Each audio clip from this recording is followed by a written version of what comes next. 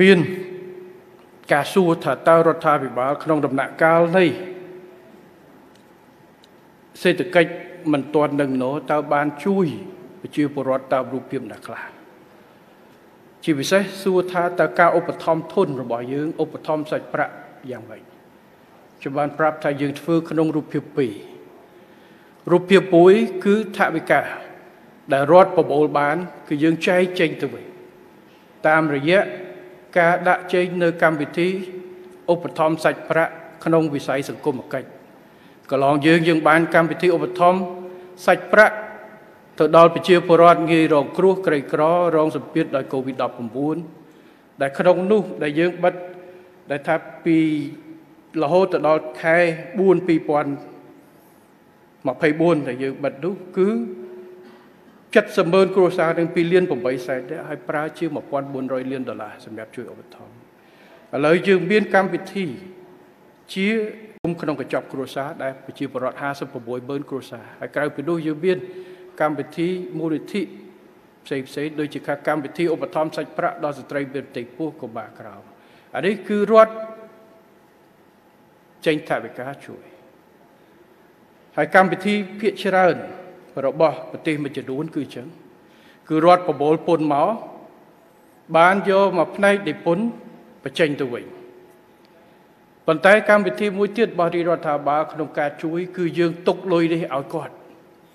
យើងអត់ប្រមូលមកឲ្យបានបញ្ចេញទៅវិញទេគឺទុកលុយឲ្យវិស័យឯកជនទុកលុយឲ្យប្រជាពលរដ្ឋតាមរយៈការបញ្យកពន្ធឬការបន្ថយពន្ធនេះឯង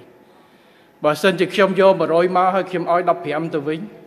អញ្ចឹងខ្ញុំទុក15%ឲ្យតែម្ដងមិនបាច់មកនេះនៅក្នុងអ្វីដូចខ្ញុំអានអំបញ្ញបីនេះគឺតកតងទៅការបន្ថយនៅអកលពិសេសការលើកលែងពន្ធផ្សេងផ្សេងគឺទុកលុយនេះជូនទៅដល់វិស័យឯកជនជូនប្រជាពលរដ្ឋតែម្ដងបាទអត់យើងអត់មើលអត់ឃើញទេបាទបើយើងយកពន្ធមកពេញហើយបានយកឲ្យទៅវិញអាហ្នឹងយើងឃើញប៉ុន្តែដែលយើងអនុគ្រោះមិនយកពន្ធនេះគឺទុកជូនគាត់តែម្ដង អញ្ចឹងការឧបត្ថម្ភរបស់រាជរដ្ឋាភិបាលដែលខ្លះថារដ្ឋាភិបាលអត់ធ្វើអីសោះជូនប្រជាពលរដ្ឋក្នុងដំណាក់កាលនេះអត់ទេយើងជួយទាំងការឧបត្ថម្ភសាច់ប្រាក់បញ្ជូនទៅវិញរួមទាំងការបញ្យកនៅសាច់ប្រាក់មួយចំនួនពីគាត់តាមរយៈការបទូបថយនិងអនុគ្រោះពន្ធនេះហើយដើម្បីបង្វិលនេះគឺជាអ្វីដែលខ្ញុំបានឆ្លើយហើយនេះអ្វីដែលខ្ញុំសូមជូនជ្រាបទៅតាមលទ្ធភាពដែលយើងបានប្រទេសកម្ពុជាមិនមែនប្រទេសដែលមានទេ ប៉ុន្តែយើងក៏មិនអង្គុយអោបដៃឲ្យប្រជាជនដែលកន់ការលំបាកនោះទេ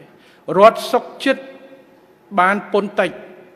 មិនយកពុនអនុគ្រោះពុនបើន័យថាលុយពុននឹងអត់ចូលមកទេទុកនៅក្នុងកប៉ៅប្រជាពលរដ្ឋនៅក្នុងពេលលំបាកហើយយើងនឹងបន្តពិនិត្យវាយតម្លៃជាប្រចាំតើការអនុគ្រោះនេះត្រូវបន្តយើងកណាកន្លែងខ្លះយើងឲ្យម្ដងមួយឆ្នាំកន្លែងពីរឆ្នាំយើងបន្តមួយទៀតបើស្ថានភាព